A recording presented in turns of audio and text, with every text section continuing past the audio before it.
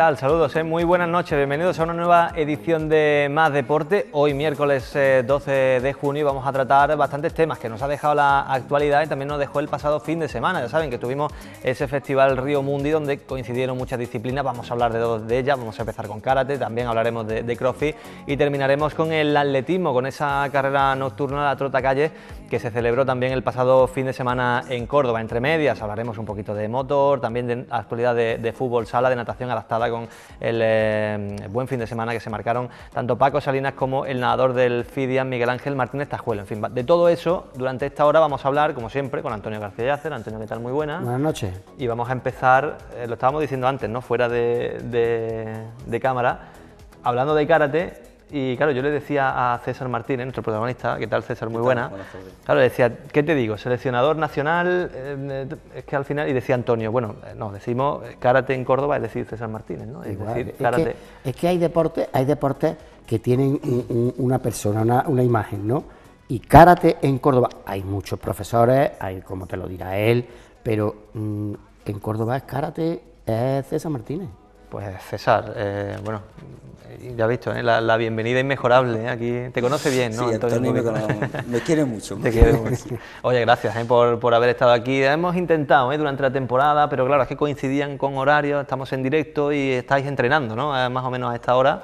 Y es complicado, ¿no? Tener ahí un, un huequito que hay Pero que, no, no hay problema. Estamos- estoy encantado de estar con vosotros. que agradecerle también que viene de Palma del Río directamente aquí para, para estar con nosotros, para hablar de, de karate, una disciplina que estábamos comentando antes. Vivió el otro día una jornada bastante bonita, ¿no? Ahí en, en Río Mundi, con muchísimos cientos de, de karatecas, una disciplina bastante interesante. La verdad que sí, que fue un momento muy bonito eh, en, esta, en esta exhibición, que es una exhibición general de karate, pero no hubo solo karate, fueron dos días, fueron el viernes y el sábado, y fueron artes marciales. El, el viernes hubo judo y taekwondo, y el, el sábado fue karate y kickboxing. Se practica mucho más de lo que se cree, ¿no? En Córdoba este tipo de, de disciplinas. Bueno, en esta, en esta exhibición participaron, contamos entre 900, per- 900 practicantes así, con, con todas las artes marciales. Sí, las artes marciales en Córdoba, en Andalucía y en España eh, son muy practicadas, son muy practicadas. Y el karate dentro de ellas pues, es una de las más practicadas. Tiene, El karate tiene un importante número de licencias. Ujú. Tenemos imágenes por ahí, compañeros, si podemos eh, poner las imágenes del, del festival otro día de Río Mundo y fíjate ahí. Eh, bueno, ya el marco, ¿verdad? Es, es- es precioso, ahí debajo de, de la calahorra. Y ahí estamos viendo, Antonio, quién sabe, ¿no? Si, si futuro de esto. Yo estoy seguro, estoy seguro, porque le preguntabas a, César, y es que mm, César empieza por la base en su, en su escuela de- del Club Quimé en Palma del Río, de ahí empiezan ya a salir, porque yo es que mm, mm, va a practicar, va a participar en tal, en tal campeonato el Club Quimé. Bueno, y cuando vuelve, hemos- nos traemos un, un porrón de medallas. Yo es que creo que César, cuando va bien con el Club Quimé, bien con la selección, tiene que llevar una, una furgoneta para traerse las medallas, porque siempre viene cargado. ¿eh? Y es que, es que eso es así. No solamente decir karate César, sino mm, decir éxito del karate cordobés. ¿Se acostumbra uno a eso, César? Bueno, llevamos toda la vida trabajando, pero realmente no, siempre, no siempre es así, como dice mi amigo Antonio. Ah, Hay veces que, bueno, que, la situación no, es tan fácil. ¿no? Eh, por ejemplo, cuando vamos con el equipo nacional, como seleccionador, eh, bueno, competir con otros países a nivel internacional, en Campeonato de Europa, Campeonato del Mundo, las medallas son carísimas son muy difíciles, ¿no? Pero bueno, se van consiguiendo medallas y la verdad que España está en un buen lugar. Luego a nivel eh, a nivel regional y provincial, pues la verdad es que bueno, en mi club llevamos veintitantos años trabajando y la verdad es que bueno que no- nos va bien porque por eso mismo, porque llevamos hace mucho trabajo con los chavales y, la verdad que los chicos son chicos extraordinarios que bueno que, que día a día trabajan para, para alcanzar esos resultados. El trabajo del día a día, ¿no? Es una disciplina que requiere, esto también lo hemos hablado, ¿no? Judo, taekwondo y demás, requiere mucho sacrificio en el, en el día a día, ¿no? Es como ese, ese lema que tenéis marcado siempre, ¿no? Sí, en, en las artes marciales, en karate en particular, bueno, porque nos, va- nos vamos marcando objetivos. Los chicos se van marcando cinturones, que son los colores, hasta conseguir cinturón negro. Es decir, desde el comienzo se van marcando objetivos. Esos son los que hacen karate eh, el día a día, ¿no? Luego dentro del karate día a día pues tenemos competiciones y las competiciones, bueno, pues ya se, se especializan mm, especialmente para, para estas competiciones. Mm. Pero es que, es que mm, Nacho, eh, hay una cosa que es primordial, siempre lo hemos dicho. Cuando tú en un equipo tienes un futbolista, por en fútbol, un, un jugador que destaca en una demarcación, los que vienen de abajo se miran en ese espejo y siempre intentan emularlo. Si resulta que en el club Quimé tienen como profesor a un campeón del mundo, pues ya me dirás tú a mí si no intentan emularlo. Lo que es que lógico que cueste sacar una medalla cuando vaya con la selección. Es que está peleando con los mejores del mundo. Pero es que eh, cuando lo consigue, amigo, es que el éxito viene desde abajo, desde todo lo que ha arrastrado, de todos los entrenamientos. ¿Cuántas horas de entrenamiento tiene al día, César? Bueno, pues los deportistas ahora, cuando yo competía, pues Bueno, entrenaba ahí. entrenaba muchísimo, ¿no? Pero la verdad que ahora los deportistas, pues eh, entrenan muchísimo. entrenan- El nivel, eh, con el tema olímpico, el nivel ha aumentado mucho y cada vez la- las medallas internacionales son mucho más difíciles. Hay mucha gente comprometida dentro del equipo nacional, como los médicos, los fisios, los psicólogos, eh, un montón de un equipo técnico y un equipo humano detrás que, que hace que bueno que estos chavales pues se mantengan en buen estado de forma, aparte del gran esfuerzo que hace la, la Federación Española de Karate eh, moviendo a los deportistas por los diferentes eventos internacionales, tanto en categoría absoluta con las Premier League como como con las categorías cadetes y 1 y sub-21 con la League, ¿no? Decir, eh, la, selección, la, la Federación Española hace un esfuerzo increíble por mover a deportistas por todo el mundo para mantener el nivel que está marcando el karate mundial ahora mismo. Tú fíjate, César, el, el currículum que, que tienes, vos más que autorizada para, para hablar de, de esta disciplina, eh, ¿tú qué dirías que, que debe tener un deportista que se quiera dedicar a esta disciplina? ¿Qué es lo básico que deba tener? Lo básico, lo que yo como seleccionado busco en cada deportista es el compromiso. El compromiso es lo más importante. Si hay compromiso, hay trabajo detrás, hay ilusión, hay muchas cosas. Si no tenemos compromiso, pues bueno, pues es es complicado. Es complicado un deportista que no se comprometa 100%, porque para, este, para esta disciplina, como para todos los deportes, pues el compromiso del deportista es importante. Yo recuerdo que a, los chicos, sobre todo a los que estamos formando, pues muchas veces le hacemos preguntas en situaciones límites antes de salir a competir para ver sus reacciones. Y recuerdo que le preguntaba a un chico, Alejandro Ortiz, que bueno, ha conseguido medalla en el último campeonato de Europa, antes de salir a competir le dije, ¿tu, tu compromiso con el equipo nacional cuál es? Y tardó 0, segundos en decir el 100%, el 100%. Te responden así, sin pensar. Y es porque eso, por eso mismo, porque tiene ese compromiso en su interior y eso es lo que nosotros buscamos, gente con ganas de trabajar y bueno, y que nosotros pues estamos ahí para formarlo y, a- y apoyarlo para que bueno, nos representen, representen a nuestro país y lo hagan bien. Mm, ¿Y, y reconoces eh, el karate de ahora con respecto al que tú eh, practicabas en su momento? ¿Ha cambiado mucho? Sí, el karate ha evolucionado muchísimo, sobre todo como te decía, en, esto, en esta última década el tema, el tema olímpico ha sido increíble, son muchos países, como te decía, muchos países que están trabajando, que están trabajando, que están moviendo deportistas por todo el mundo y están invirtiendo en técnicos, en concentraciones, en competiciones para que bueno, sus deportistas suban. Y eso, bueno, antes eran pocos los países, eran pocos países, sobre todo eran países europeos y Japón los que conseguían medallas y ahora ves el medallero de un campeonato del mundo y la verdad que se reparte por todo el mundo.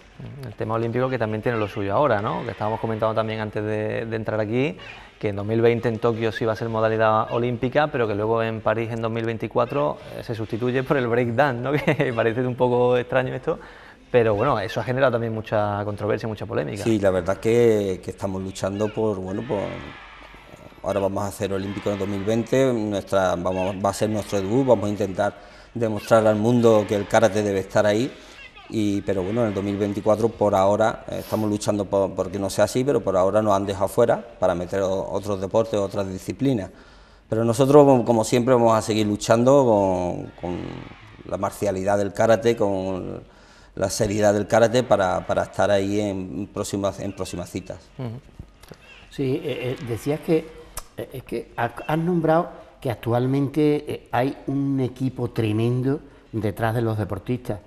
Eso para ti tiene que ser mm, un sueño, porque cuando tú empezabas, es lógico que es que mm, se sabe, ¿eso qué es? ¿Karate qué? ¿No? No se conocía ni que existía. Actualmente, primero, la forma de entrenar es distinta, el trabajo es distinto, el equipo que tienes detrás es distinto, todo en beneficio del deportista. La verdad es que sí, bueno, el karate entró en España sobre el año sesenta y tantos, setenta, es decir, que una disciplina joven, joven. Y desde entonces, bueno, desde que entró eh, a formar parte dentro de, los deportes en España y dentro del Consejo Superior de Deportes, pues la verdad que fue una evolución importante, importante. Y como te os decía antes, eh, ahora mismo es uno de las artes marciales son uno de los deportes más practicados con más licencia, aunque en televisiones no se ve mucho, que ahora se está viendo mucho más con, Sandra y Damián, que son grandes campeones de karate y bueno, deportistas que están en el ranking mundial.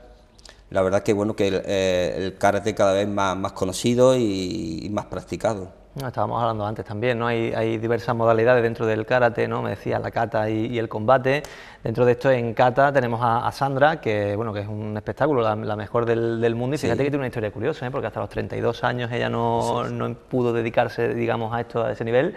Y fíjate, ¿no? el tirón que ha pegado siendo una de las favoritas para, para conseguir medalla en, en Tokio.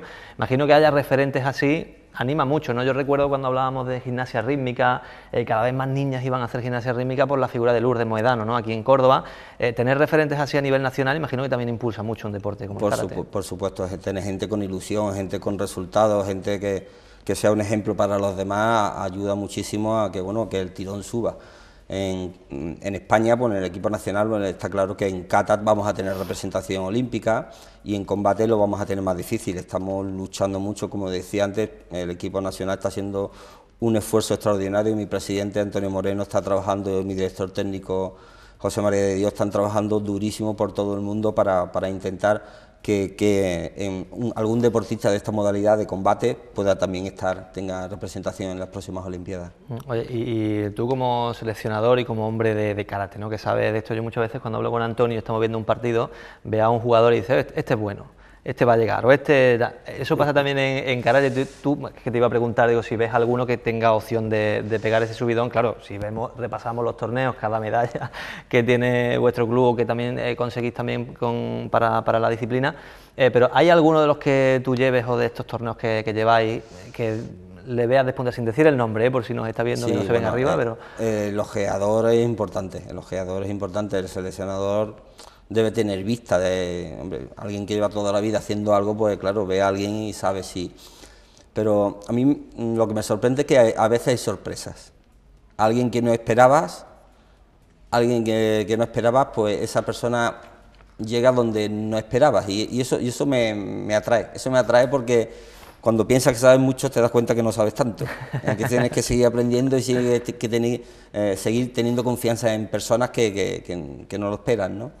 Eh, deportistas o deportistas que a simple vista no reúnen las condiciones físicas o lo que tú crees, aunque son el estándar de todos, pues cambian los esquemas, pero bueno, en general el seleccionador bueno es alguien que, está preparado, que solemos estar preparados, sobre todo mi equipo técnico, un equipo técnico que tengo detrás conmigo, ayudándome y apoyándome, la verdad que son gente que, que cuando ven a alguien es difícil que se le escape, aparte eh, todos los que llegan al equipo nacional tienen una trayectoria anterior. Es mm. difícil encontrar a alguien que no tenga una trayectoria, porque estos chicos, desde que son infantiles, ya, están, ya son campeones. Mm, pues Antonio, si un campeón del mundo sigue aprendiendo, imagínate el resto. No, pero es que eh, ha dicho una cosa, ha dicho una cosa que yo creo que, eh, para todos los deportes sirve, ¿no?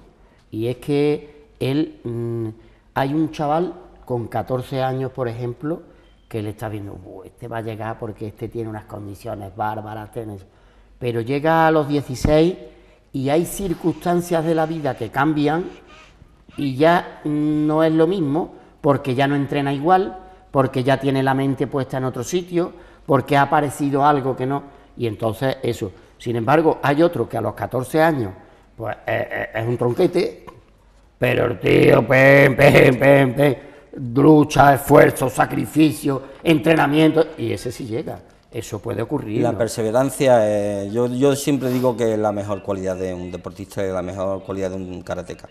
la perseverancia es importantísimo, la constancia, como tú dices, cuando pierde se levanta, cuando, cuando tiene lesiones sigue adelante. Eh, eso es lo que para mí marca a un deportista, la, la gana de conseguirlo. Yo, yo entré en el equipo nacional con 26 años, 27 años, después de estar toda la vida intentando entrar en el equipo nacional. Así que yo, yo aguanté un montón, yo aguanté un montón y eso siempre, yo creo que es mi mejor cualidad, lo pesado que soy. ¿Es, la mejor enseñanza que te ha dejado eso el, karate o te ha dejado alguna mejor? La verdad que sí, porque yo antes de entrar al equipo nacional, yo a mí mismo lo pensaba, me lo decía a mí mismo, y digo, bueno, yo tengo que acostumbrarme a vivir el resto de mi vida sin, sin haber cumplido este sueño, este sueño, ¿no? Y la verdad es que con el trabajo, en el día a día, pues llegó el momento y lo conseguí, conseguí, bueno, ser campeón de España en varias categorías y, entrar dentro del equipo nacional y representar a mi país. Y eso para mí fue, sobre todo cuando me llegó, que me llegó una edad madura, sube a apreciarlo, sube... Y a partir de ahí, bueno, pues la verdad que cuando estuve en el tiempo que estuve en el equipo nacional, que no fue mucho, pero me fue muy bien a nivel internacional consiguiendo medallas. Y una vez que, terminé en el 1998 en Brasil, en Campeonato del Mundo, pues a los dos años así, pues me llamó mi director técnico y me, ofreció el cargo, bueno, trabajar con las categorías inferiores.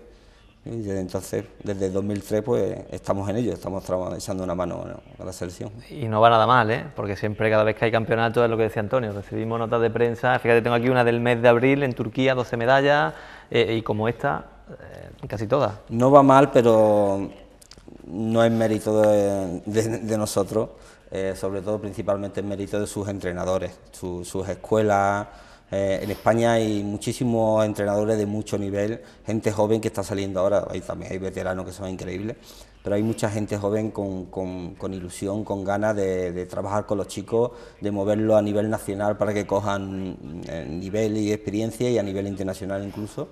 Y, y bueno, cuando llega a nosotros ya son grandes campeones, ya nosotros lo que tenemos que intentar pues darle el último toque, eh, que vayan con confianza, mantener el nivel que tienen y transmitirle bueno, alguna experiencia así internacional para que bueno para que sigan siendo grandes campeones. Pero date cuenta que en el karate también, en el, fútbol se dice pero no se hace, porque como desgraciadamente interviene el dinero, no creo que en el karate haya mucho dinero por medio, y como no hay mucho dinero por medio, aquí sí que los buenos están con la base para, para que salgan arriba, ¿no, César? Bueno, la verdad es que en, karate, como en muchísimos deportes, no, no, se mueve mucho el dinero. ¿no? Es decir, nosotros somos totalmente amateur. Nosotros, yo tengo mi trabajo profesional, que es mi, mi escuela de karate, eh, en Palma de Río, aquí en Córdoba, estoy en diferentes lugares y, y, por la comarca, y es lo que yo me dedico. Luego con el equipo nacional pues me dedico tiempo parciales, y me voy algunos fines de semana, me voy algunas semanas, hay veces que en Campeonato del Mundo estamos 10, 15 días fuera, pero después regreso a mi trabajo y profesionalmente no me dedico a la selección. No sé si estaremos los mejores, pero, pero la verdad es que bueno, que, que trabajamos y hacemos todo lo posible porque salgan las cosas bien. Oye César, por ir terminando, ¿eh? que no te queremos robar mucho más tiempo, eh, hemos hablado de Tokio 2020, que es una cita que tenemos ahí en el horizonte año próximo, pero tenemos una antes, ¿no? El, Mundial en, lo tenía por aquí apuntado en Chile, en octubre, una cita también marcada en rojo. Tokio 2020, bueno, pues el objetivo de, nuestra selección al completo, de, la absoluta, de, de las Olimpiadas, el gran reto que nosotros llevamos muchos años preparando y apostando. Eh, pero en la categoría que me repercute a mí pues sería la categoría cadete Junior Sub-21 y la próxima cita importante, bueno, tenemos el Iberoamericano en el mes de, el mes de agosto, que es preparatorio, y después tenemos el Campeonato del Mundo que lo celebraremos en Chile.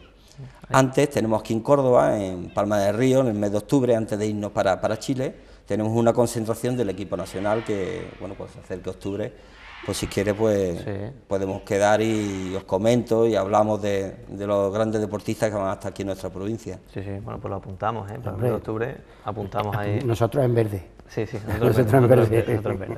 Eh, César Martínez, ¿algo más que se te haya quedado ahí que quieras decir? Pues nada, Nacho, yo agradecerte que a ti, Antonio, bueno, que os acordéis del karate, os acordéis de mí y nada, felicitar a, Río Mundi porque ha sido un evento increíble, un evento increíble con todos los aspectos. Eh, Córdoba estaba rebosando de gente.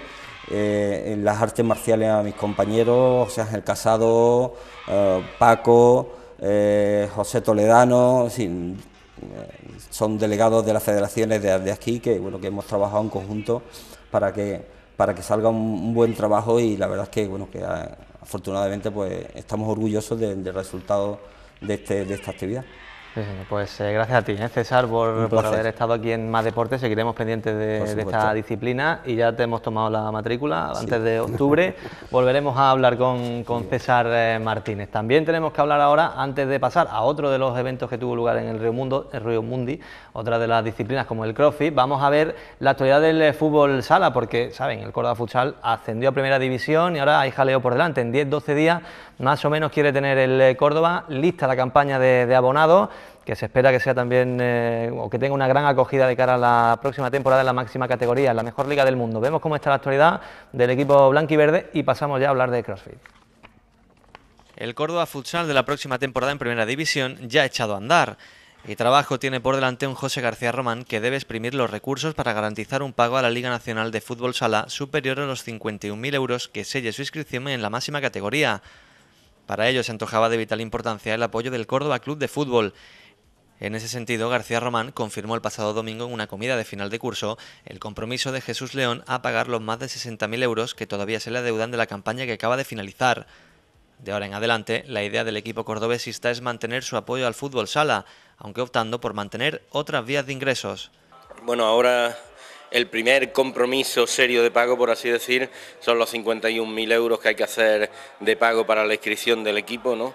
Y eso, bueno, en principio estamos tranquilos porque Jesús León me llamó y se comprometió, como hay una deuda todavía con el club de, la temporada pasada que todavía no se ha puesto al día, pues se comprometió a pagárnosla antes del día 20, con lo que eso nos permitiría hacer frente de sobra a eso, incluso cerrar los los restillos que tenemos por ahí de, pagos todavía pendientes de una temporada que evidentemente ha costado mucho terminarla.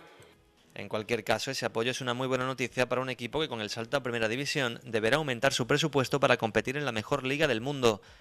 Con uno bastante modesto, fijado en 250.000 euros, el Córdoba Futsal logró clasificarse para el playoff de ascenso en su segundo año consecutivo en la categoría de plata. Ya en las eliminatorias fue capaz de conseguir la gesta con un grupo de jugadores nacidos y formados en Córdoba. El Betis Futsal, gran favorito junto a Burela, sucumbió por penaltis tras forzar los de Maca al tercer partido en San Pablo mientras que la final ante Mengibar apenas tuvo historia. El 5 a 1 en vista alegre entre el conjunto jiennense se refrendó con un 2 a 3 en el Sebastián Moya Lorca, que ya es historia. De cara al próximo curso, la intención del club blanquiverde es mantener, si es posible, en torno al 80% de los futbolistas que firmaron el éxito. Pocos son los jugadores que tienen esa experiencia en la máxima categoría, aunque todos los actores tienen claro que disponen del nivel para jugar en la mejor liga del mundo. Vamos a ver, yo siempre he dicho que yo eh, apuesto por los futbolistas cordobeses, pero no soy excluyente. Una cosa es que, quiera que la mayor parte de ellos sean cordobeses y otra cosa, es como los equipos vascos, por eh, poner un ejemplo, que dicen que, que no tienen jugadores de fuera. ¿no? Nosotros nunca hemos sido excluyentes. Mm, ojalá pudiéramos seguir teniendo jugadores cordobeses, pero porque hay nueve en primera división, siete de ellos internacionales, entonces el precio de ellos no está a nuestro alcance. ¿no? Eh, ¿Qué pasa? Nosotros, evidentemente, para competir en una competición tan, mm, tan complicada, eh, tenemos que reforzarnos, ¿no? Y eso puede hacer que, venga alguno de fuera, ¿no? Y siempre que venga a mejorar, pues ya te digo, no somos excluyentes ni, ni vamos a ir eh, con el sello de cordobés solo y, exclusivamente. Orgullosísimo, orgullosísimo. Yo creo que todos nos van a gloriamos un poco de, de eso.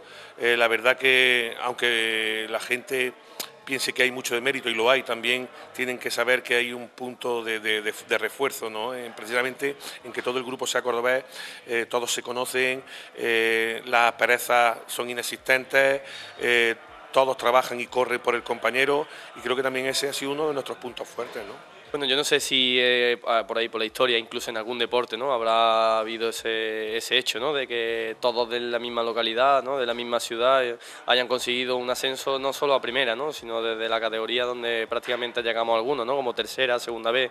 Bueno, eso está ahí, eh, ya historia, ahora hay que pensar en descansar en el año que viene y bueno, la verdad que será un bonito recuerdo de, de por vida para todos.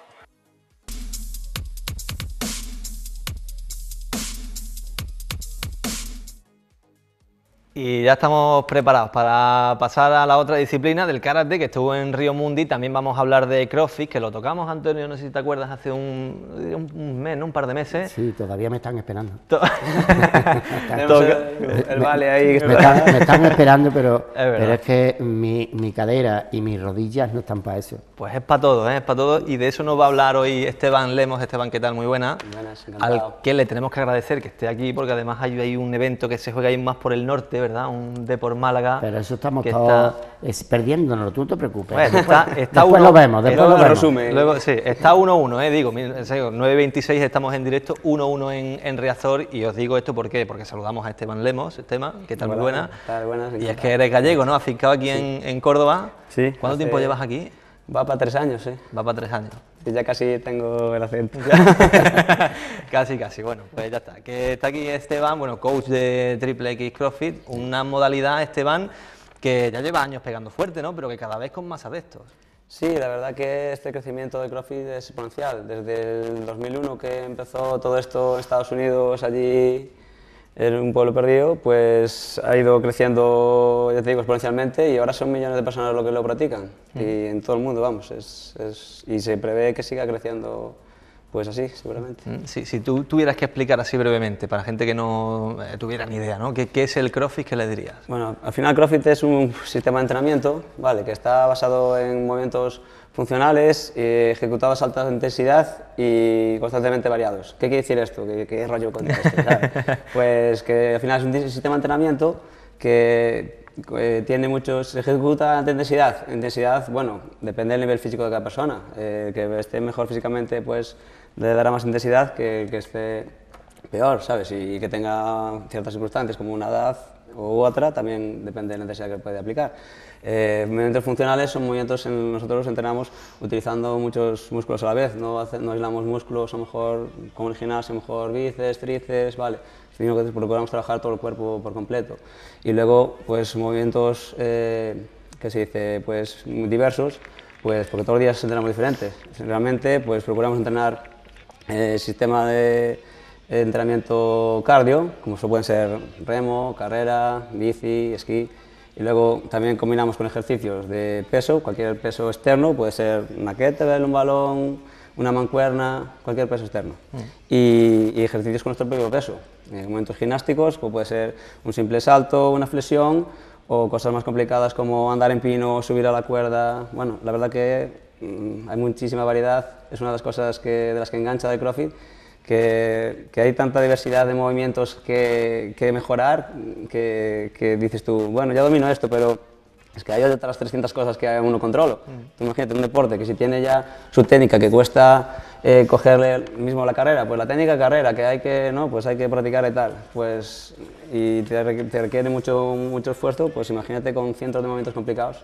Por eso yo creo que es una cosa que, que engancha porque, porque al final lo que queremos es ser lo máximo completo posibles y, y requiere mucho, mucho trabajo y cuando voy bien una cosa pues tengo que practicar más otra y dejar un poquito a lado esta y seguir practicando otra. Y, y la verdad que es eso, yo creo que le gusta a la gente también por eso. La última vez que, que, bueno, estuvieron aquí Rafa y, y Billy, eh, eh, claro, veíamos imágenes que precisamente eran tuyas, porque tú eres, eres co- competidor, eh, te dedicas a esto en, en competición, pero claro, decíamos, bueno, eso eh, veíamos ahí, ¿no? Decíamos, eso no es para todos, ¿no? Eh, porque claro, lo ves de esa forma, pero fíjate con estas imágenes lo que tú decías, ¿no?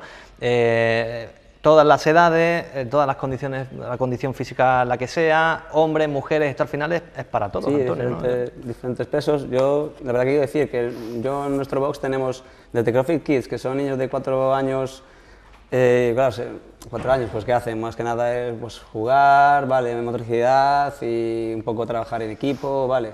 Pero desde cuatro años hasta nuestro cliente, nuestro socio más antiguo, si ves de aquí José María, que 71 años, 71 años, eh, había jugado al fútbol, las dos rodillas operadas, que, y está ahí, vamos. Y, que- y realmente los que empezamos CrossFit aquí en España hace 6 años, 7, 8, pues ya nos ha cogido un poco 20, 30, como es mi caso. Y ya tenemos, si no tenemos 30, tenemos 40, ¿sabes? Ahora empiezan nuevas generaciones también eh, animándose, claro, y empezando a practicar desde más jóvenes, que ahora es por eso que sube tanto nivel, porque ya empiezan chavalitos de 15 años, 16, que esos mejoran una barbaridad en muy poco tiempo. Y, pero bueno, me refiero que el margen de edad que hay gente que practica CrossFit es ya de 30 para hacia adelante, la, el- 80%, seguramente. Estoy viendo las imágenes y tú quieres que yo haga eso si estoy Mira, cansado. más de corriendo, cada uno mira, su- su nuestro compañero 100%, corriendo, Antonio. ahora va a saltar a la cuerda. Claro, yo no puedo saltar a la cuerda porque Bueno, peso pero- mío no puedo saltar porque Pero- la pero yo- rodilla. yo, tampoco puedo hacer ejercicio y hay otros que se adaptan, ¿verdad? Que eso es otra de las es, una, es una de las cosas que, que, es que queremos enseñar a todo el mundo, por eso venía lo del Río Mundi también un poco para que todo el mundo viera de que, que se puede adaptar también los ejercicios para, para todo tipo de personas, Eh, que no puedo, mismo no tiene por qué ser porque soy muy mayor, no, tengo una mira en este momento, pues estoy lesionado el hombro, no puedo hacer este movimiento, vale, te lo cambiamos y hacemos otra cosa, pero que está adaptado para todo tipo de personas. ¿no? Mm, Esa es otra de las cosas que se suele decir mucho, Antonio. Se pregunta, ¿no? ¿Es el crossfit lesivo? Siempre, ¿no? Tiene la gente, claro, mucho movimiento, alta intensidad. Al final lo que es lesivo, pero también como en el gimnasio, es la mala ejecución, ¿no? Por eso se hace tanto hincapié en la técnica. Claro, realmente lesivo es hacer un, ejercicio mal hecho. Eh, nosotros, las clases, bueno, cada box, todos, todos son clases dirigidas por un, por un coach, hay un límite de personas por clase, entonces ahí tampoco no es como un gimnasio, nosotros garantizamos de la calidad de la clase, porque es eso, pues, por ejemplo, en nuestro caso máximo 14 personas por clase y más de 14 no pueden entrar, para poder un poco estar encima de la gente, corrigiéndolo, ya desde inicio hay que hacer un curso, un curso de movimientos, sobre todo lo más complicado, son movimientos con barra, con pesos, pues hay que empezar con un curso para poder va a poder empezar a entrenar, vamos, para que tengas una noción básica, aunque luego día a día tenemos que estar encima tuya, corrigiéndote tal y cual, pues empiezas por lo menos con una noción básica y a partir de ahí que, que se, es para entrenar con peso, pero lo haces con una pica, con una pica de madera de la escoba, ¿no? Pues con eso, y hasta que lo hagas bien con la pica de, de madera, pues no te dejamos pasar a una barra de metal. Y hasta que hagas bien con la barra vacío, pues no puedes meterle peso, y así próximamente. Porque a nosotros tampoco nos interesa alguien que empiece a entrenar y que se lesione rápidamente y diga, no, mira, que me he hecho daño con esto. También nosotros no queremos eso. Al final, esto yo creo que eh, nuestro mejor cliente es un cliente satisfecho y eso se lo va a comentar su grupo de amigos o su círculo y, y- y si es para mal, igual, claro, puede ser, es un arma de filo, ¿vale? Entonces si, va, si a uno no le funciona, le va mal, también se lo comentará a su grupo de amigos y, y será peor para, nosotros. A- Así he estado yo un mes y medio, Antonio, con la barra plástico que te puede decir Esteban, porque es, es profesor mío también. ¿eh? Eh, de hecho, mañana tenemos clase, por cierto, está a las, a dos y cuarto. a las dos y cuarto de la tarde, pero que, que es verdad, que se incide mucho en esto de, de la técnica, lo quiero decir, ¿no? porque al final es verdad que mucha gente a lo mejor ve esto y, y lleva un poco a, a engaño, ¿no? o piensa o tiende a pensar en "Oh, esto no es para todos, o ahí se usan ciertas sustancias que, que no, que no, que esto es todo salud, es que... Yo lo que, no, lo que cons- aconsejo a la gente, que es como en todo, yo no puedo ir a entrar a internet y buscar eh, CrossFit y te aparecerá ahí, Claro. pues uno, seguramente el mejor del mundo, si no es el mejor, el segundo mejor del mundo, haciendo barbaridades, que no, no harás tú nunca, ni tú, ni yo, ni nada, o sea, en plan, es, claro, es como si, pero bueno, yo también lo aplico a cualquier otro deporte, a mí me gusta el atletismo, y pongo en internet, venga, atletismo, o ca- carrera, no sé qué, y me sale un atleta olímpico, eh. hostia, pero este corre eh, los 50 kilómetros a, dos- a 2,50 kilómetros y yo no corro ni uno. claro, claro, es que es así, no se puede comparar. Mm. Entonces, no quiere decir que, no, que si no corres el kilómetro a 3 minutos que no puedas hacer atletismo, claro Mm. que puedes. Y esto es igual. No tengo por qué levantar ni 100 kilos ni 50, esto tengo que yo esforzarme, intentar mejorar y yo el entrenamiento, si no tiene una condición física peor que otro que va mejor, el que va mejor levantará más peso, o hará más repeticiones, o acabará antes. Pero el propósito de la clase es que tú con tu condición física en este momento, pues te marches cansado o al al 90%, y el que va mejor, que habrá cogido más peso y habrá hecho más rondas, también se marchará cansado a su 90%. Y entonces los dos marcháis igual casa, calentito. calentito. Es verdad, ¿eh? porque es que quema mucho, ¿eh? pero eh, son clases que además, Antonio, mm, tiene, yo te lo intento vender, ¿eh, Antonio? No, ya, ya, tú- ya lo sé. esta- que de tú- esta cae. Claro, claro, de esta, de- en esta ya cae. Ya ¿no? Pero que tiene, tiene de todo, porque al principio son bueno, un calentamiento previo intenso, eh, ejercicio de movilidad, de fuerza y por último el trabajo más intenso ¿no? de, de todo. O sea que, que es bastante, bastante completo. No sé, Antonio, tú. Estiramiento al final. Estiramientos al final, es verdad también. Eh, de estas cosas, no, no sé si tienes alguna, si alguna inquietud que Esteban, que eh, te pueda. No, si la inquietud mía sería el integrarme porque siempre me ha gustado hacer deporte y el problema es que te llega un momento en decir, es que no puedo, sí, sí. Tú fíjate hasta dónde llega, que mm, yo estuve yendo a un gimnasio porque había una entrenadora personal que, que me cogió y, y me, digamos que me salvó, ¿no? Porque eh, el no darme una rehabilitación después de una operación, estuve más para allá que para acá, ¿no? Después esta entrenadora, pues digo que me salvó porque ella fue capaz de lo que está diciendo Esteban, si no puedes más, puedes menos, tú llegas hasta aquí, ella me, me aconsejaba y, y llegaba un momento en que no era solo yo en la clase, sino que éramos una serie de personas de una cierta edad y éramos tan competitivos que tuvo que, limitar, que eliminar ejercicios porque mm, llegó un momento en que los choques eh, no eran buenos y, y tuvo que, que cortar algunos ejercicios porque la competición, el que ha competido antes es competitivo toda la vida. Sí, es, un- es otra de las cosas que engancha del CrossFit, que al final todo va, nosotros entrenamos siempre con crono y cada uno a su nivel siempre busca, este voy yo más o menos igual que él, no me va a ganar, ¿sabes? Y, y es una de las cosas también que las que engancha en el día a día. El grupo siempre entrenas con un grupo de personas eh, y eso, eh, la, la competición entre, en que sea pues, una clase normal no hace falta que sea un evento multitudinario, sino que yo sé que este está un poco mejor que yo, pero hoy lo voy a ganar. Y, y eso también, también motiva mucho a la gente a, a- Y, y tú, Esteban, como profesor también de, de Triple X CrossFit, que ahora también hablaremos de- del, del lugar y, y de, la, de la empresa en sí, del box, eh, ¿con qué disfrutas más? Yo recuerdo haber hablado contigo ¿no? y decir, "Joder, es que veo gente que empezaba de cero, gente de cierta edad, ¿no? ver ejecutar bien los movimientos, que va progresando, que eso al final Claro, eso llena. como si te dedicas a enseñarse, cual sea, sea deporte, sea supongo que también magisterio, sea lo que sea, ver que un alumno va para arriba, crece, en este caso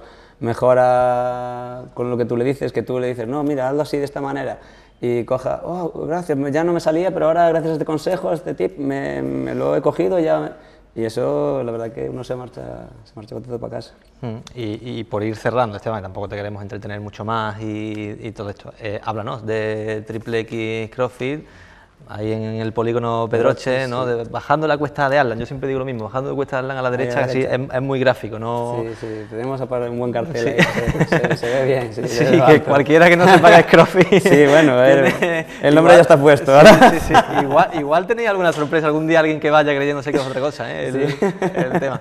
Pero no, pero bueno, háblanos de eso un poco porque eh, hay muchas más disciplinas dentro de eso, ¿no? También hay boxeo. Sí, realmente hay- en nuestro box también pues tenemos yoga, eh, Carmen Bernabeu, que es una fantástica profesora de yoga, eh, y aparte es que nos viene muy bien para, para todos los que practicamos CrossFit, nos apuntamos a sus clases porque la movilidad también es súper importante en cualquier deporte, pero en este que tiene mucho tema de barras y pesos, pues el tener una buena movilidad y meterse bien debajo del peso de la barra es súper importante. Yoga, tenemos boxing, nuestro amigo Maño, Joaquín, que también da las clases de boxing. Tampoco es un boxing en plan que se parte en la cara, combates, sino que, bueno, en guanteos, guan- eh, guanteos, sacos, vale, uno para uno. Que, Los movimientos, ¿no? Sí, Eh, bueno, muy, bueno, muy cardio, para también, bueno, para, para sudar mucho también, que aparte es muy divertido, hacer las clases muy divertidas y mucha de la gente que prueba ya también se anima a boxeo. Eh, y luego también estamos con los, con los kids, claro, bueno, es CrossFit Kids, pero bueno, desde 4 hasta 16 estamos ahí ahora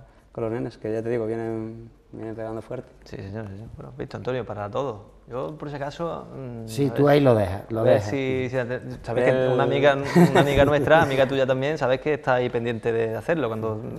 Hacemos una cosa, si, si ella viene a probar y se apunta, me das tu palabra que te vienes tú también a probar. Eh, Aquí en directo. Está grabado, Está Antonio. Está grabado. No, sí, ese no es problema, ese no es problema. Tiene que ser como diga, vamos, hay que ir. ah, vale, pues ya está. Eso- pondremos más hincapié con ella. Eso, eso, eso pasa siempre, ¿verdad, Esteban? Al final, Sí, sí. uno, la cabra llena el monte. Eso, Eh, por eso estoy aquí. eso te iba a decir, digo, bueno, ¿te has quedado con algo más, ganas de, de contar algo más, algo que se te haya quedado por ahí que quieras decir? No, que bueno, que yo animo a todo el mundo a que practique, bueno, cualquier deporte, claro, pero yo en especial tengo que defender el CrossFit porque, porque es el deporte de salud y, y en concreto el CrossFit es súper divertido. Mm, eh, Yo tengo, tengo otra gente que viene y no es capaz de correr 300 metros seguidos y luego pasan unos meses y corren 2 kilómetros seguidos y para ellos ya es un- una barbaridad y, y- y que es eso, que animo a todo el mundo a probar porque, porque se mejora y te, te ayuda, te da calidad de vida. Realmente el CrossFit es para eso, es para que tengas tú más calidad de vida. Los movimientos no son para levantar pesos a lo bruto, son para utilizarlos después en un caso real de una vida real. Yo qué sé, yo estoy No sé, en casa se me cae mi madre anciana y pesa 80 kilos, pues tengo que levantarla a lo mejor, ¿no? O se me cae la moto y pesa 100 y pico kilos, pues tengo que levantarla. Y, carrera, pues sí, pues tengo que coger autobuses que me escapa, pues están hechos para la vida real. Eso es, eso es el CrossFit, es un poco pues estar preparado para la vida real y todo lo que pueda suceder. No es especializarse en, ni en carrera, ni en levantar peso, ni en estar colgado en una barra, sino ser un poco completo en todo y poder, si tú un día te llama tu colega a echar una pachanga fútbol sala, que aguante los 40 minutos y, y, si otro día te dice, venga, va a correr una media maratón, que aguante la hora y pico de, de maratón. La verdad que, bueno, yo animo a todo el mundo a que pruebe y, hay un alto porcentaje de gente que prueba y le gusta y se queda. Que... Lo, difícil es dar el paso. Y, sí, señor. Aquí, yo, aquí está... puedo, dar, puedo dar fe. No que se me note mucho, pero poco a poco iremos mejorando eso. Esteban, que muchísimas gracias. ¿eh? Vosotros por, invitarme, un placer. Por haber estado aquí, te dejamos ver el Deport. ¿eh? Sigue, voy, ya voy volando. Sigue 1-1, bueno, sigue 1-1, no sé. No igual, sabemos. Igual ha marcado alguien ahora en... Bueno, vamos, 3-1. Seguro, ya cuando ponga 3 también primera ya. Esteban, gracias ¿eh? por haber estado aquí. Te veo mañana y ya, bueno, eh, seguiremos hablando evidentemente de, de CrossFit para la próxima temporada. Eh, de esta modalidad que, es bastante interesante y que animamos también todos a, practicar cualquier deporte, pero también esta modalidad en concreto. De CrossFit vamos a hablar de natación adaptada, como decíamos antes, eh, un gran papel de Miguel Ángel Martínez Tajuelo, nadador de Andújar del Club Fidias, de Paco Salinas, que también han estado muy bien los dos en Berlín, vamos a hablar también de, motor, vamos a ver cómo fue la cosa en, Jerez con el equipo de esta Box 77 y liderado por eh, Luis Castro, les ha ido bastante bien a todos nuestros deportistas cordobeses y cuando lo veamos entramos en materia y hablamos de atletismo, de la calles y de cómo está también eh, la actualidad en esta disciplina. Paco Salinas volvió el pasado fin de semana a Berlín para reverdecer viejos laureles. En esta ocasión, el nadador cordobés obtuvo tres medallas de bronce en las series mundiales de natación adaptada. Una cita señalada en rojo en el calendario de cara a la que vendrá entre el 9 y el 15 de septiembre, el Campeonato del Mundo que tendrá lugar en Londres. Salinas se presentó en Alemania con las buenas sensaciones que le había dejado su participación en Eindhoven en el pasado mes de abril. Allí había obtenido su mejor marca personal en los 50 metros braza. Ahora ha hecho dos terceros puestos en la clase SB3, 50 y 100 metros braza, y otro en clase SM4, 150 metros estilos. Todo ello paso a paso, pero con las miras puestas en el gran objetivo, clasificar para los Juegos Paralímpicos de Tokio 2020 aunque para ello todavía toque esperar. Eh, una ilusión es que el gusanillo diariamente lo tengas porque al fin y al cabo lo importante es disfrutar todo el proceso. Si no disfrutas todo el proceso, para mí no tiene realmente sentido. Hay que disfrutar todo el camino hasta llegar a, conseguirlo. El día que se consiga, si Dios quiere, pues será un momento más de ese camino. Pero hasta que realmente se consiga y se pueda establecer, pues quedan muchos días de trabajo, muchas horas de trabajo, ¿no? Y para eso estamos diariamente pues sacrificándonos, tanto mi familia como los patrocinadores, como, como mis entrenadores, ¿no? Para intentar, como digo, ir mejorando día a día, superarnos día a día, y estableciendo cada día, pues irle arañando una décima de segundo al, crono, para que, pues, bueno, si finalmente pues llega eh, ese objetivo de Tokio 2020, bienvenido y si no, seguiremos para adelante, que a día de hoy queda todavía Paco Salinas para tiempo. Eso sí, en el centro acuático Europa Sport Park no solo brilló Paco Salinas, también lo hizo Miguel Ángel Martínez Tajuelo. El nadador de Andújar, enrolado en las filas del Club Fidia Cordobés, sumó tres oros. Fue primer clasificado de la clase S3 en 200 metros libre, 50 metros espalda y 50 metros libre. Los pilotos del Deza Box 77 Racing Team tuvieron un fin de semana intenso en la prueba de casa del Mundial de Superbikes. Tanto Guillem Eril como Alex Carrión fueron en clara progresión durante todo el fin de semana, consiguiendo buenos tiempos y clasificándose para las dos carreras disputadas. A pesar de estar entre los 30 primeros holgadamente en los libres, los pilotos no encontraron un buen rebufo en los cronometrados y se quedaron a las puertas de la clasificación. Se presentaron en la parrilla de salida de la carrera que daba derecho a entrar en las últimas seis posiciones de parrilla, con una carrera dura y luchada, pudieron pasar en tercera posición Alex y en cuarta Guillem. En la primera de las carreras que se disputó el sábado, los pilotos montaron gomas usadas, conservando el juego nuevo para la carrera del domingo. Alex salió como una exhalación y aunque adelantó más de 10 posiciones, se cayó en la curva de final de la recta larga del circuito de Jerez. Guillem fue progresando, pero a partir de mitad de carrera las gomas bajaron de rendimiento y se tuvo que conformar con la 25 plaza. El equipo siguió trabajando duro de cara al domingo, mejorando en el warm-up. En carrera, los pilotos volvieron a superarse y lucharon en el segundo grupo de carrera, logrando la 22 plaza Alex y la 25 Guillem.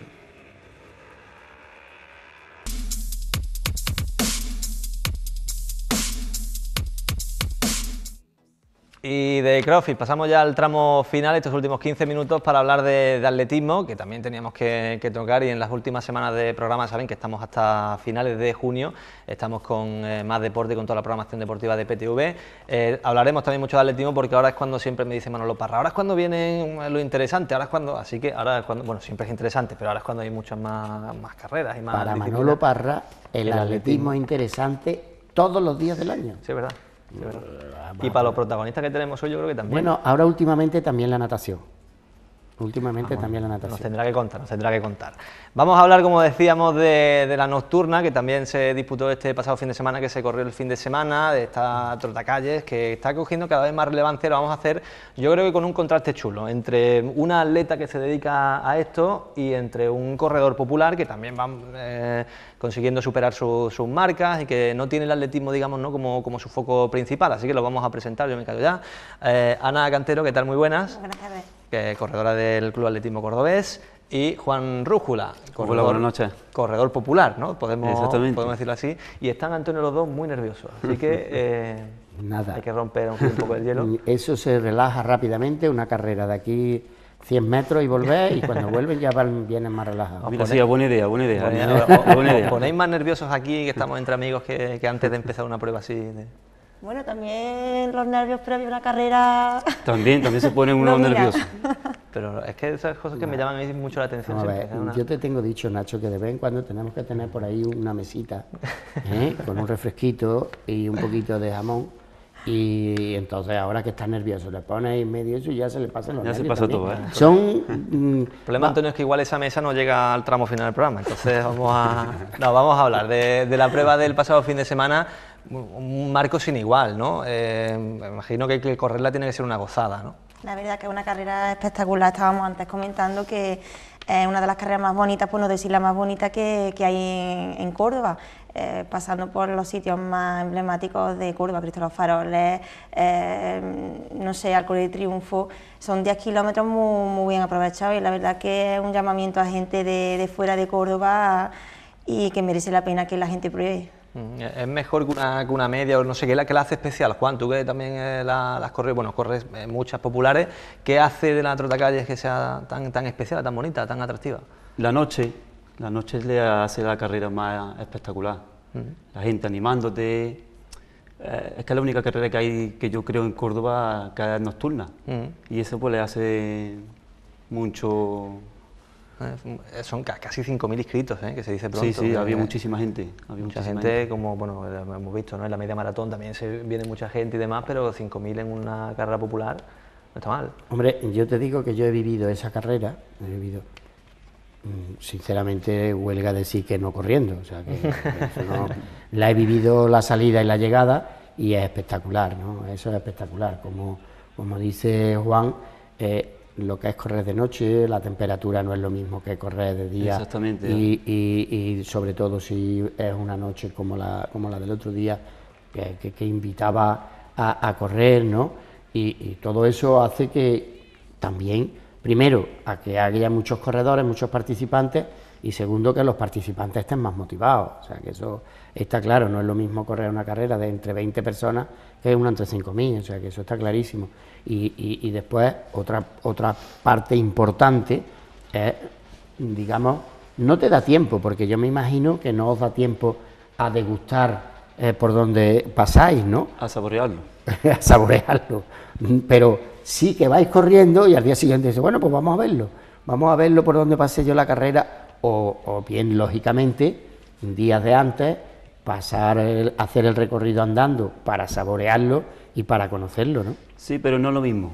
Hacerlo antes o después, cuando lo estás disfrutando, es más en, la carrera, aunque no lo saborees, pero lo estás disfrutando. ¿Da, tiempo de disfrutarlo o estáis pensando más en tengo que mejorar? Nacho, si lo que disfruta es la competición. Ya, ya, no, pero, pero no sé si... Yo disfruto en la carrera. Yo disfruto en la carrera y compitiendo. O sea, que lo afrontáis como competición, digamos, ¿no? Bueno, tú me has dicho que, que lo hiciste más como preparación, Claro, en ¿no? mi caso fue un poco por mm, complementar parte del entreno, entonces, bueno, pues la verdad que me dediqué a hacer un poco de guía turística, me permitió un poco el ritmo, pues, y explicando a gente que venía de fuera, pues, el- por los sitios que íbamos pasando y demás. Pero yo creo que eh, otras veces que a lo mejor la he, la he hecho compitiendo, es una manera también nosotras de... sufrimos la carrera, ¿no? Pero Se a la sufre, misma vez también disfruta. disfrutamos. Exactamente. Somos conscientes perfectamente de dónde estamos pasando y es una de las Sí. maneras también de, bueno, Luego las haces al día después y no lo mismo. No es lo mismo. No lo mismo. Y- La gente, todo, no lo mismo. Y lo que es el, el día, o sea, la preparación, hacéis algo muy, muy diferente. Bueno, tú me imagino como es para complementar parte de, de tu entreno, igual, no sé, o las veces que la hayas corrido para, para hacer tiempo, bajar marca. Eh, ¿Cómo lo preparáis? O tú en este caso, ¿cómo preparas también una, una prueba de, de más nivel, de alto nivel? ¿Cómo es vuestro día de preparación de, o vuestro día de carrera? Pues yo salgo dos días, como mucho tres, a correr, lo que es entre semanas. Los domingos hago una tirada más larga porque tengo más tiempo. Y mi gimnasio. Y poco más, ¿eh?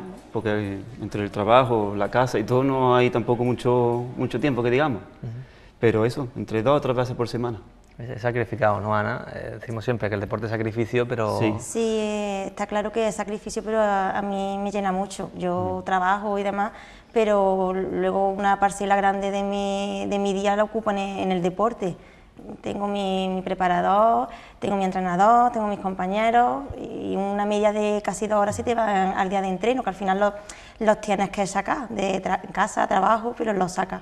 Mm, Tú también empezaste como corredora popular, digamos, ¿no? Y al Sí, final- totalmente.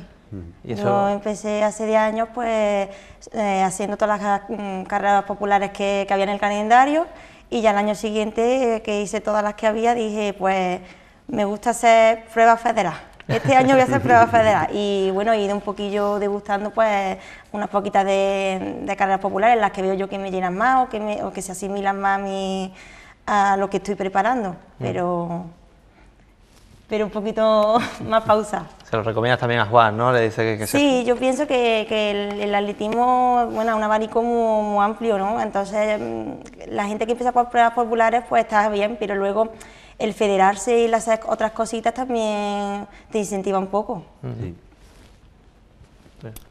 Sí, eh, eh, yo creo que es que eh, el, el deporte engancha todo, ¿no? El deporte, yo creo que el deporte es la droga buena, ¿no?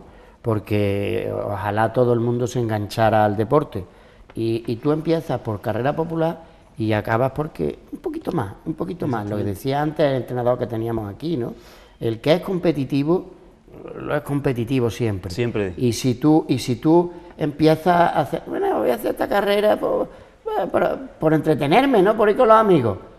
Y que ahora mi amigo ha hecho tres minutos menos que yo de qué. Es que es un pique deportivo. Hombre, claro, pues, es o sea, un pique esa deportivo es la- que te eso gusta que es la mejorar. competición, esa es la Exactamente. competición pura y Exactamente. dura. Siempre un pique deportivo, siempre. Claro, eso es la competición.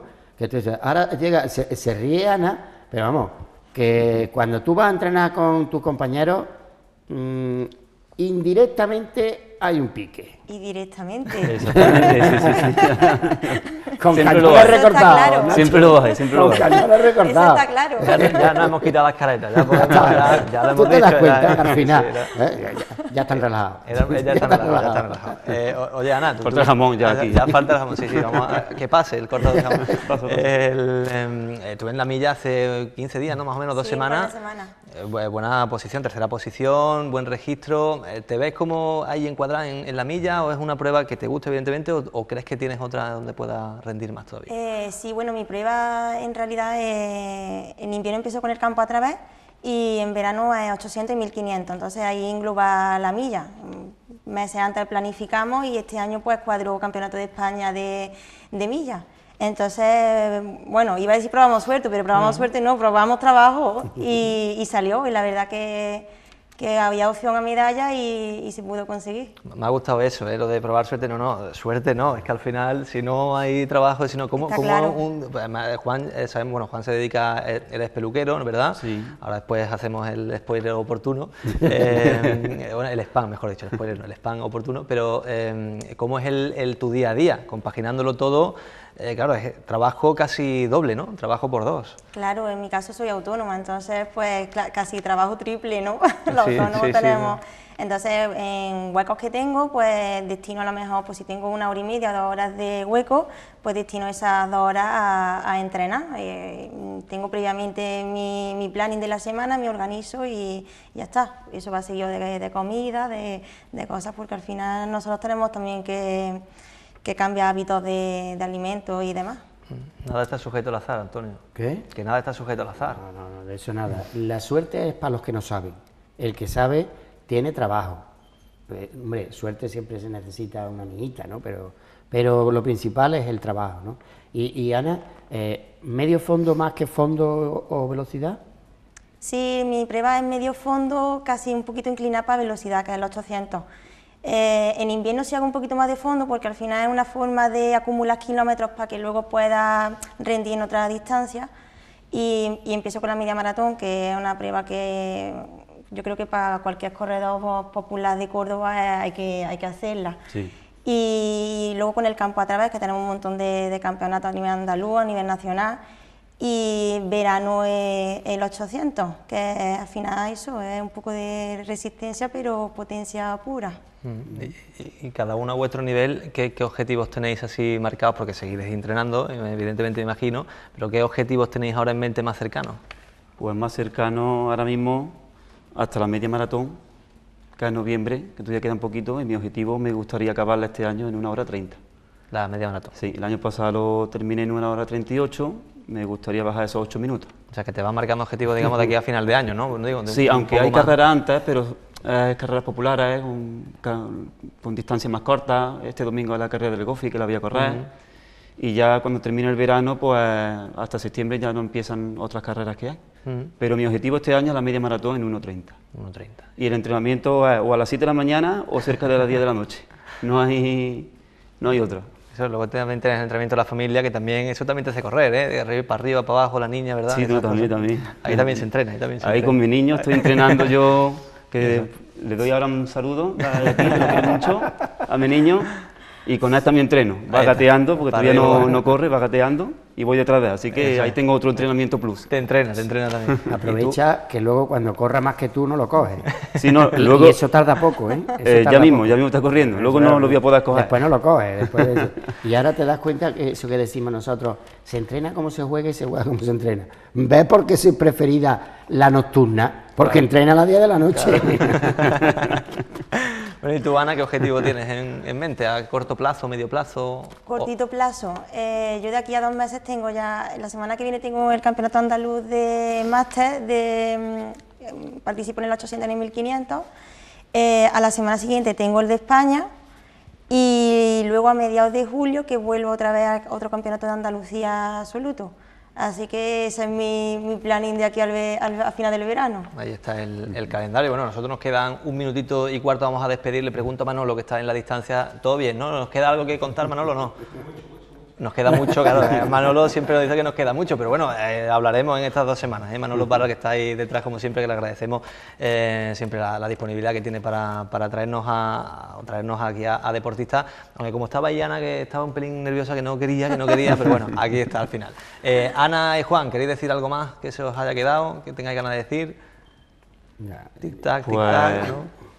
Ahora A- mismo- a, a Gel Span, que estamos hablando, peluquería Rújula, ¿dónde está? ¿Nos podemos encontrar? Sí, ¿no? Eh, está Hemos en la- coincidido dos peluqueros. en la avenida de la Viñuela, Ah, el fíjate. que quiera ir, pues ¿La aquí estamos. peluquera tú?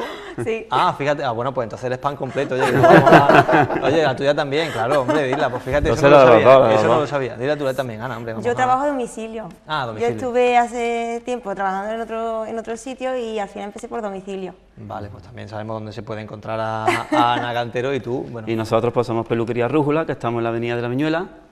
Y el que quiera cortarse el pelo, pues ya sabe dónde estamos. Antonio, a ti cuando te crece, te crece bien, así que ya sabes que... Hombre, yo, tengo, yo tengo como eso, una peluquera particular. Sí, señor. Eh, Ana y Juan, muchísimas gracias. eh, por, Gracias a ustedes, un placer por estar haber aquí. estado hoy en Más Deporte. Antonio, muchas gracias como siempre. Nos vemos el viernes. Y nos vemos el viernes. Contamos también cómo está la, la actualidad del, del deporte. Gracias a todos los que han estado aquí, gracias también a Álvaro Dorado y a Pablo Ramírez en realización, haciendo posible este programa. Y como no, gracias también a todos ustedes por haber estado cerca un día más. Nos vemos el viernes con Córdoba en juego, mismo sitio y misma hora. Gracias por haber estado ahí. Chao.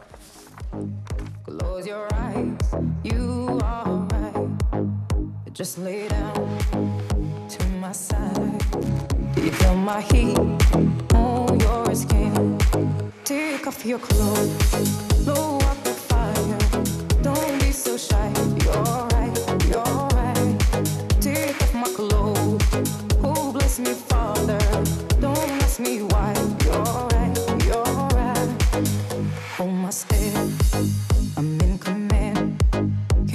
my heat?